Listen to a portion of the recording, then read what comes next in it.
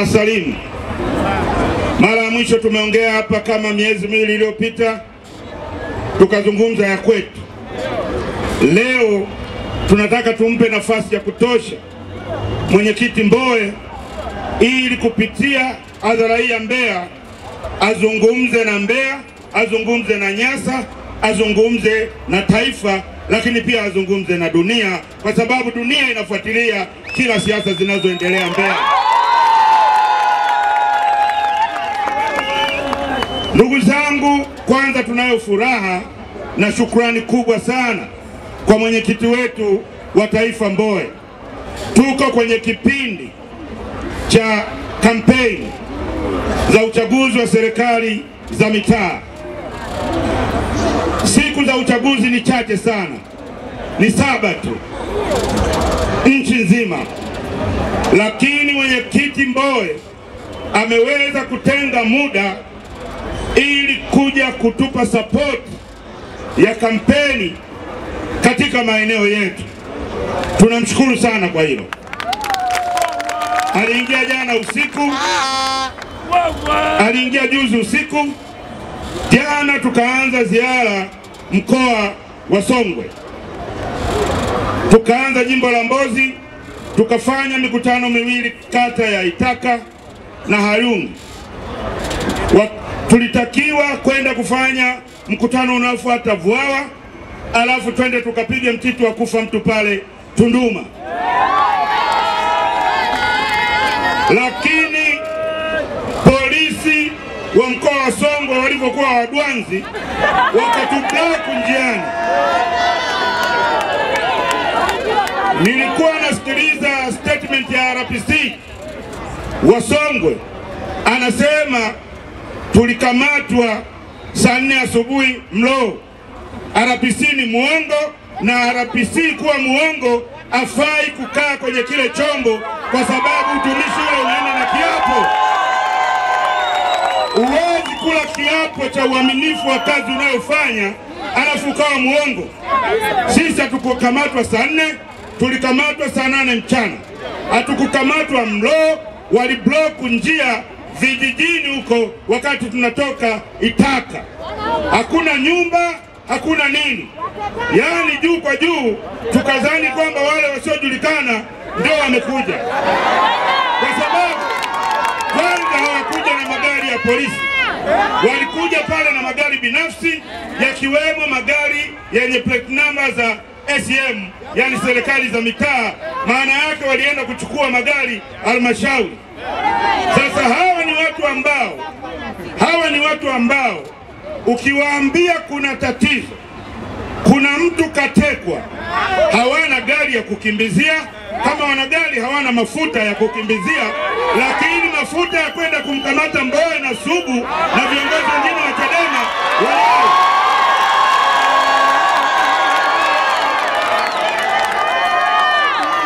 na tunajua tunajua hii sio hii Central Command. Anayefanya haya mambo ya Sugu kukamatwa, kupigwa, sijui kutekwa, tunamjua na namba zake, siku zake zinahesabika. Anayepanga hujuma dhidi ya Chadema na Sugu Mbeya na kanda ya Nyasa tunamjua, anatembea na ving'ola na namba zake za siku zinahesabika, ndugu zangu. Wametukamata saa nane mchana, wakaenda kutufungia pale Vwawa, sio Mloo, Vwawa, kuanzia saa tisa takribani, wamekuja kututoa saa saba usiku. Bila maelezo ya kutosha. Huyu anasema tulishambulia, huyu anasema tulikimbiza gari sana barabarani, huyu anasema tulivuruga ratiba za uchaguzi. Sasa ratiba za uchaguzi toka lini zimekuwa ni swala la kijinai? Ratiba za uchaguzi zinashughulikiwa kikanuni na waliopewa hadhi ya kusimamia masuala ya uchaguzi na si vinginevyo. Adhabu unayoweza kupewa, adhabu unayoweza kupewa ni kufungiwa kampeni siku moja, kufungiwa kampeni siku mbili, lakini sio kumchukua Mbowe, Sugu na wasaidizi wote na viongozi wengine kwenda kuwafungia kwenye kibaraza kwa masaa zaidi ya kumi. Hatukufanya kosa lolote, hatukufanya tatizo lolote. Walichofanya ni mbinu maksusi kutuzuia tusiende kupiga mtiti Tunduma. Na kwa hili kwa hili niwapongeze sana polisi wa Mbeya. Kusema ukweli, polisi wa Mbeya tunaenda vizuri na tuendelee hivyo hivyo. Polisi hata wale polisi waliokuja kuniteka pale ule mwezi wa nane hawakuwa polisi wa Mbeya. Polisi wa Mbeya hawezi kumpiga Sugu, wale walikuwa ni wauni kutoka Njombe, wale walikuwa wauni kutoka Njombe, kutoka sijui Songea, kutoka wapi, ndio waliwaleta kufanya kazi ile haramu, na swala lao bado liko mezani, tunalishughulikia. Lazima tuwaburuze mahakamani. People! Ndugu zangu, tunalo jukumu Mbeya mjini, tunajua tunalo jukumu la kuiondoa serikali ya Chama cha Mapinduzi madarakani. Tunaondoa serikali Chama cha Mapinduzi madarakani kwa sababu wameshapoteza mvuto kwa wananchi. Hawana jambo jipya la kuwaambia wananchi, na ndio maana wanategemea dola, wanategemea polisi, wanategemea kuteka watu, wanategemea kuua watu ili kutengeneza hofu. CCM wameshindwa kutengeneza ushawishi, wamekimbilia kwenda kutengeneza hofu. Sasa tunasema kuanzia uchaguzi huu tunaenda kuwaonyesha CCM kwamba sisi hatuna hofu na tunaenda kusimama kama tulivyosimama mwaka elfu mbili na kumi kama tulivyosimama mwaka elfu mbili na kumi na tano kama matairi kuwaka yatawaka safari hii, lakini hatutakubali. People wanachojua ni kuvuruga uchaguzi, kwa sababu wanajua hawachaguliki. Wanachojua wameshindwa, CCM wameshindwa kabisa kuleta maendeleo kwa wananchi, wameshindwa kuleta maendeleo, wameshindwa kusimamia huduma, wameshindwa kusimamia kila kitu. Sio Mbeya tu, hapa Mbeya, angalia, toka wametuondoa madarakani kwa mtutu wa bunduki mwaka ishirini ishirini, maanake kuna watu nikienda huko misibani, nikienda sijui wapi, wanasema utasikia ma MC wale hasa wale kina Mwakipesile wa CCM utasikia eh, tumemwona mbunge mstaafu naye asalimie. Nawambia kuna deki, misio sio mstaafu, hiyo alinipoa ubunge, kwa wa kama Mbeya.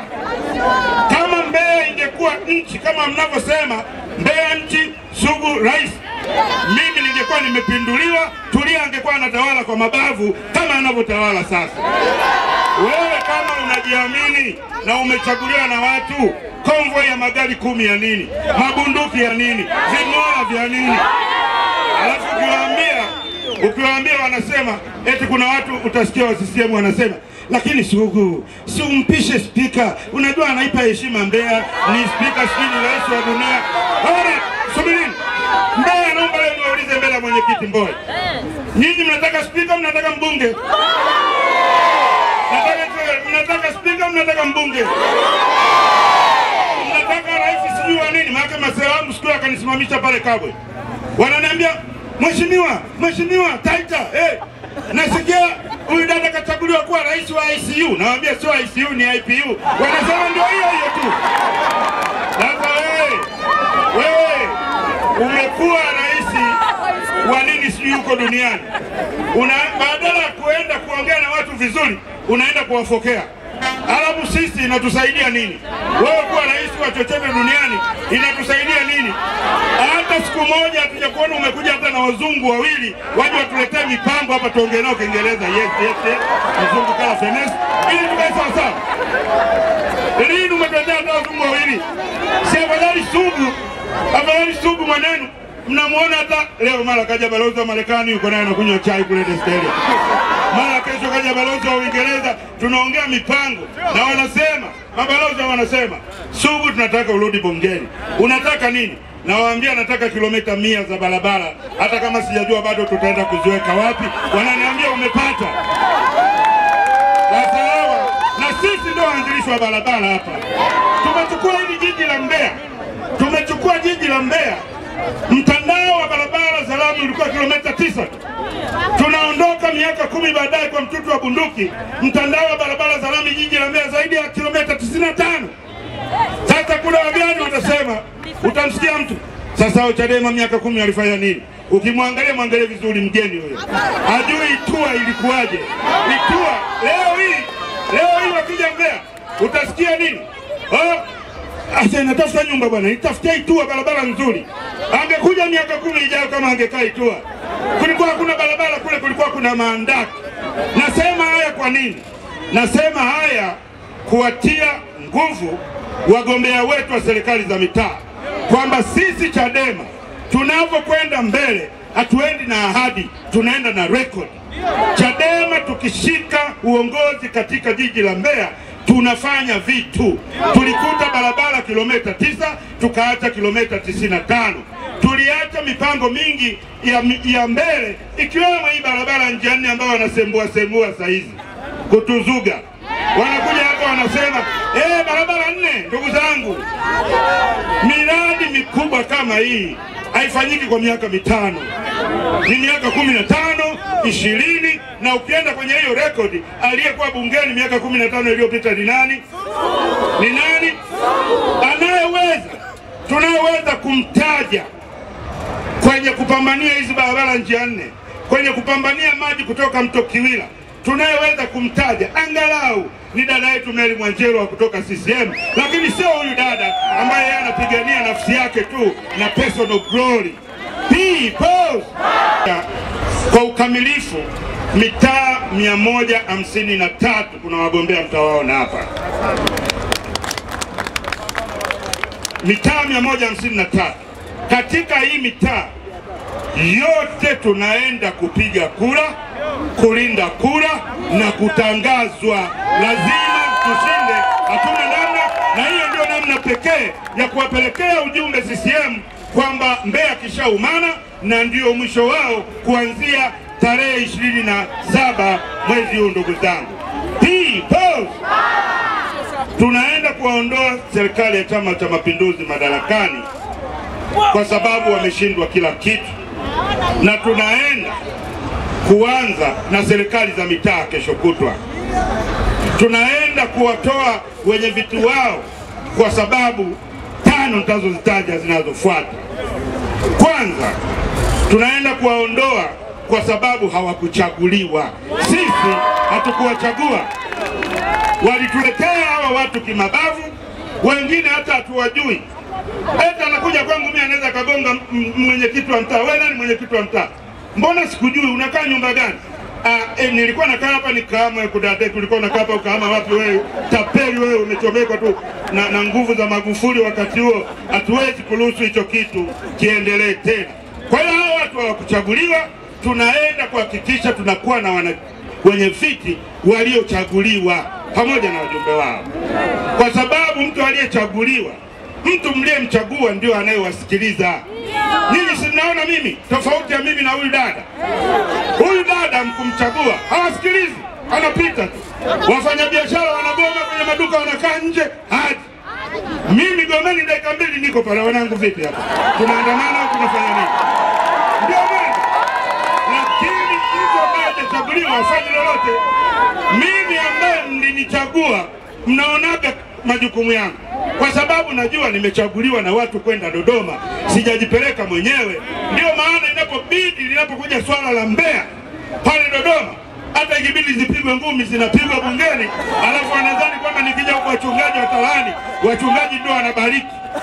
Kuna wakati nileta nilileta mtiti pale bungeni, nilileta mtiti pale bungeni, wakarudi, mwenyekiti mmoja akampigia baba askofu mmoja akamwambia eh, alikuwa anajaribu kuangalia kama wachungaji wanasemaje. Akamwambia e, unajua bungeni kuna hasira sana, kijana alishikwa hasira. Baba askofu akamwambia no, no, no, no. Hata Yesu alipoenda pale hekaluni akakuta wahuni wanauza nyama, aliwachapa viboko na kupindua meza.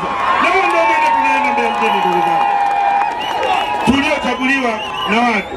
Lakini pili, tunaenda kuwaondoa madarakani hao watu kwa sababu hawaitishi vikao vya mapato na matumizi kama sheria inavyotaka. Wakazi gani? Watu wanakaa na hela zetu, hawataki kutupa ripoti. Wana kazi gani hawa? Tunawaondoa, tunaenda kuweka wenye viti ambao watawajibika kwa fedha zetu za miradi mbalimbali kule chini. Tatu, tunaenda kuwaondoa kwa sababu wanauza huduma kwa wananchi, mfano mihuri. Una ndugu yako amekamatwa, unataka kwenda kumtolea dhamana, unaenda ofisi ya mwenyekiti wa mtaa, unamkuta kule, unamwambia nataka barua muhuri, anaanza kuutafuta mfukoni, kwenye mifuko ya shati, atafungua matro Ah, muhuri hauonekani bwana chomoa elfu tano weka mezani, muhuri unaonekana dakika sifuri, anakugongea. Tunaenda kuondoa huo ujinga. Tunataka watu watakaoenda kuhudumia wananchi kama ambavyo tulikuwa tunahudumia wananchi chini ya Chadema, nikiwa mbunge, chini ya Chadema tukiwa halmashauri, na tulipokuwa na wenye viti wa mtaa wa Chadema, tulipofuta michango yote ya kijingajinga kuanzia madawati na nini na kila kitu. Lakini tatu, nne tunaenda kuwaondoa wenye viti wa serikali za mitaa kwa sababu wanakula hela za michango ya misiba. Kudadeke hao wanakula hela za misiba eh? wanapita na daftari, wanapita na daftari, wanachangisha michango. Wakishamaliza siku ya kwanza msiba hawaleti, ya pili msiba hawaleti. Wanajua matanga yetu siku tatu, siku nne watu wametawanyika, siku nne hawaleti, wanakaa wiki ndugu na jamaa wameshaondoka, tumebaki wenyewe sebleni pale, hata makochi hatujapanga, tunasikitika. Anakuja konkonko, we nani? Mwenyekiti, eh, sasa nimeleta mchango ulikuwa elfu sitini. We mwongo, mchango ulikuwa laki tatu na ishirini, hapa ghafla umekwambia elfu sitini. Umeenda huko umechakachua. Kwa hiyo tunaenda kuwaondoa ili michango yetu iwe salama, hata kama tunatoa sisi wenyewe. Lakini tano, tunaenda kuwaondoa kwa sababu wanaleta ubaguzi kwenye mambo mbalimbali ya jamii ya wananchi ikiwemo fedha kama za TASAF. Wananyima watu wetu wa Chadema fedha za tasa Fedha za TASAF zikifika, mama fulani wa nyumba fulani, mzee ameenda, wanasema ah, huyu Chadema usimpe. Wanawapa wanaoamini ni CCM, lakini hata nyinyi CCM ambao mnapewa hiyo michango, tunajua mkishachukua hela za tasafu inabidi mpeleke fungu la kumi, utafikiri mnaenda kanisani kudaadeki tunajua. Kwa hiyo hatuwezi kuwa na wenye viti wa serikali za mitaa wa aina hii kwenye jiji letu.